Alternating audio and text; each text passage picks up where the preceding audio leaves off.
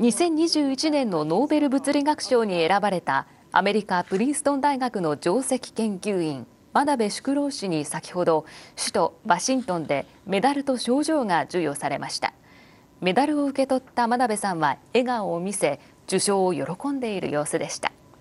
日本人のノーベル賞受賞者はアメリカ国籍の取得者を含めて真鍋さんで28人目となります。